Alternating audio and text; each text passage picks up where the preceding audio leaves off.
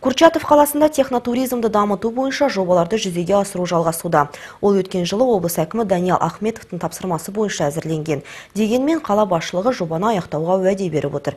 Атын көлі жанындағы серуен мен одан ауланған балық қауіпсіз бе? Жоба туралы толығырақ келесі бейнематериалда. Бірнеше жыл бұрын Семей сынақ полигоны келемдеушілер үшін ашық болды. Бұл технотуризм атауымен туризм саласында жаңа бағыттың пайда болуындағы алғашқы қадам.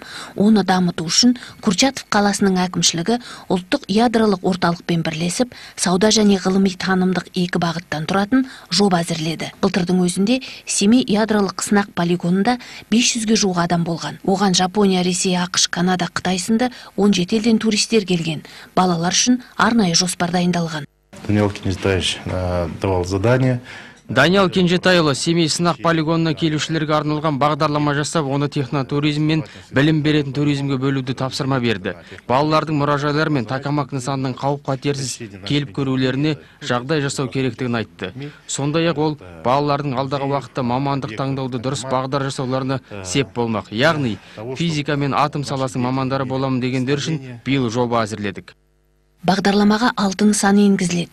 Олардың ішінде тәжірибе алаңы сондай ақ алғашқы жер үсті сынағы өткізілген атом көлі бар. Ғалымдардың айтуынша қазірде бұл жерлер саяхат жасап тіпті балық аулау үшін де қауіпсіз. Алайда көл мұндағы жалғыз су қоймасы емес. Сондықтан балық аулауда бұл жерлерде абай болған жөн. Там есть еще внешний водоем который находится за пределами воронки. Ондағы шұңқырдың сыртында ішкі су қоймасы бар. Өйткені атом көлі дегеніміздің өзі ядролық жарылыс жасалған шұңқыр.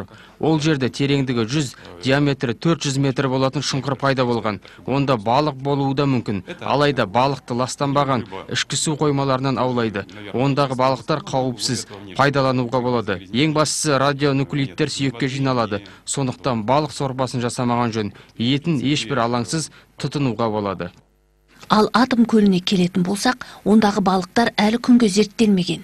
Естеріңізге сала кетейік полигонның жалпы аумағы 18300 шаршы метр.